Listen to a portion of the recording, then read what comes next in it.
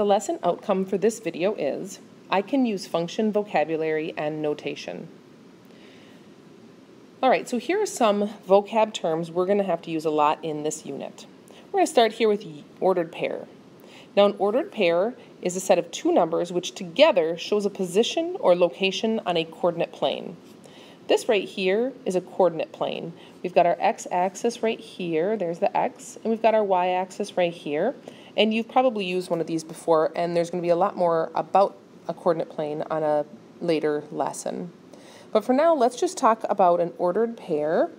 An ordered pair is always written as an x and a y with a comma in between and parentheses around it. That helps us determine a location on a coordinate plane.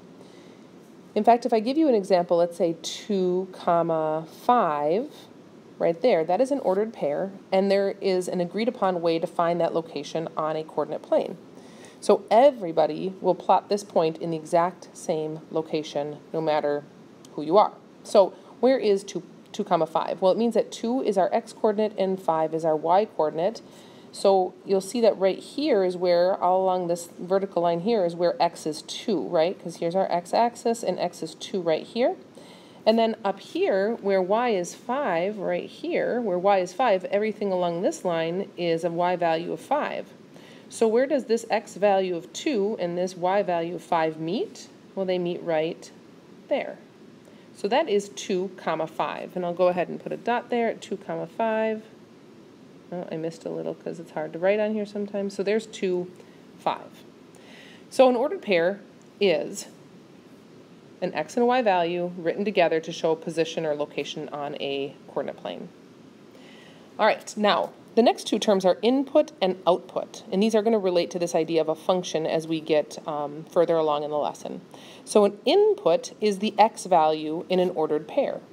So in this example up here, 2, 5, our input is 2. Oops, is 2. All right.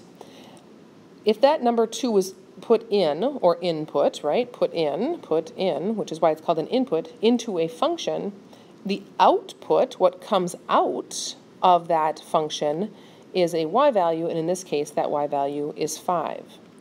So that is our output for this ordered pair. Now, a relation, sorry, let's see here. A relation is a set of ordered pairs.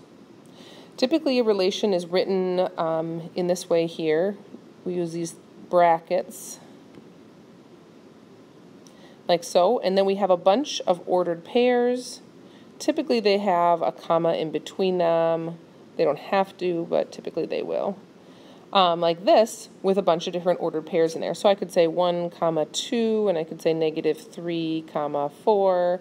I could say 7 comma negative 2. So that is a relation. It's a set of ordered pairs. So now domain and range are two, again, connected words. These two words are very connected and these two words are very connected. The domain and the range are a set of inputs is a domain, and the range is the set of outputs in a relation. So we just talked about in this point up here, 2, 5, that our input is 2 and our output is 5. So now the domain is the set of all inputs in a relation, like this one right here. So I could now list all of my inputs. So let's um, jot those down. The set of all inputs, so here's an x value right here, and an x value right here, and an x value right here. So our inputs are 1, negative 3, and 7. So that is our domain. Again, our range is that set of all the outputs. So we've got 2, 4, and negative 2. So our set of all outputs is 2, 4, and negative 2. We'll do a lot of practicing of determining the domain and range um, in a relation and in a function. More on that relationship later. All right, so let's give this one a try. I have in front of you a relation. Again, a relation defined on the previous screen is a set of coordinate pairs or ordered pairs, which is what we have. Remember that your inputs Um, all of your inputs put together is called the domain. All of your outputs is called the range. So if you want to just pause the video quick and then jot those two um, answers down, write down your domain, write down your range, and then check back to see how you did, that would be a good start.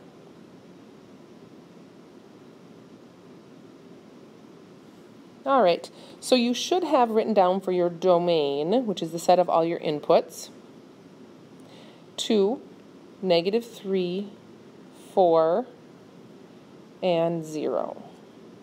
Now, a lot of times we are going to end up wanting our domain in numerical order from least to greatest. Um, so another way to write this would have been negative 3. It's the smallest because it's negative 0, 2, and 4. But at this point, you probably just listed this, and that is fine. Our range, the list of all of our outputs, we have 4, 7, negative 8, and negative 5. So 4, 7, negative 8, and negative 5. Again, listing this from least to greatest, negative 8 is the smallest value, then negative 5, 4, and 7.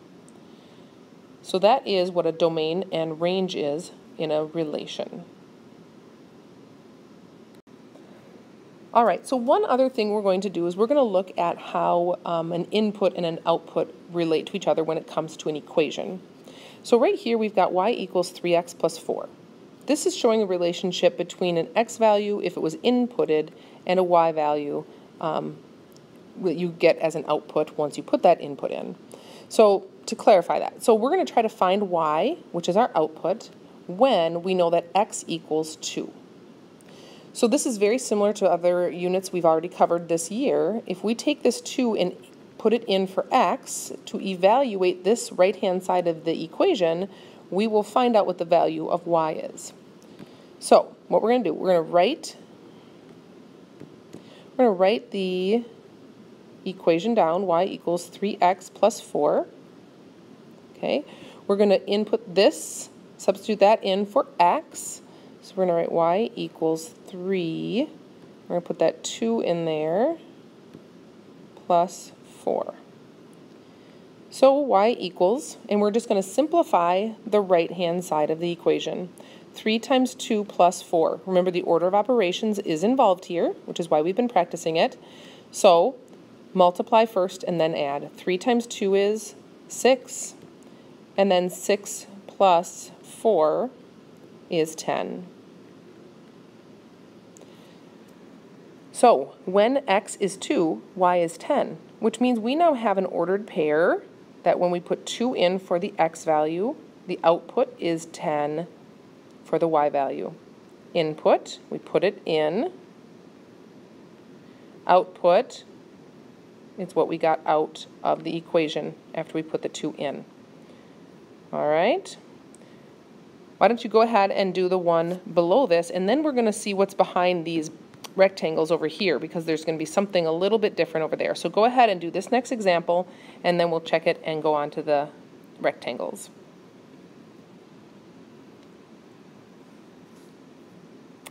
All right, so what we needed to do is we needed to put negative 12 in for x. I'm going to again rewrite my whole equation just so that I avoid silly mistakes. So there's my equation. I want to find out what y equals when x is 12, negative 12, pardon me. So hopefully put that negative 12 in there, like so. And again, order of operations, we're going to multiply and get negative 24 minus 1. So y equals negative 25. So our input-output situation here, our input was negative 12, and the output was negative 25. Now, what's behind the rectangles? Well, let's get rid of this one here.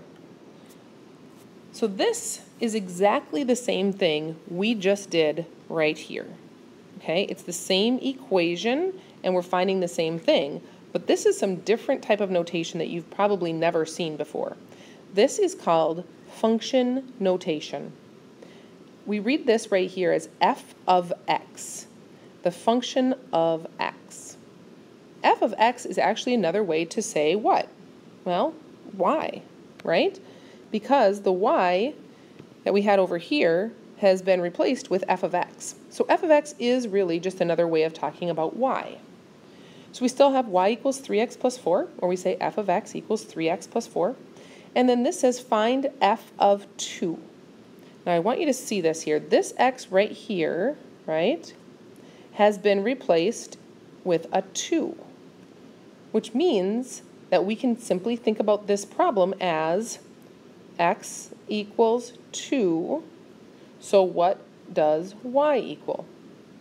Right? Which is what we were doing right here. x equals 2. So what does y equal? And that's what we're going to find, and that's just in a different type of notation called function notation. So again, I'm going to rewrite this whole thing. I'm going to say f of x, f of x equals 3x plus 4. We're going to put this 2 right here in for x in both places. So I'm going to write f of 2 equals 3. What goes in there? 2 again, plus 4. Now, what a lot of students want to do is they want to think about this as like multiplication, like f times 2. That is not what it is. It's just f of 2, and it stays f of 2. So that's going to stay f of 2 equals, and now we do our order of operations on the right-hand side. 3 times 2 is 6, and 6 plus 4 is 10. So f of 2 equals 10. Again, this means that when 2 is our input, 10 is our output. And that's exactly what we got over here as well. So one last example, go ahead and try this one on your own using function notation. You'll notice it is the same, oops, sorry about that, hold on. It is the same as this, y equals 2x minus 1, so f of x equals 2x minus 1. Find f of negative 12.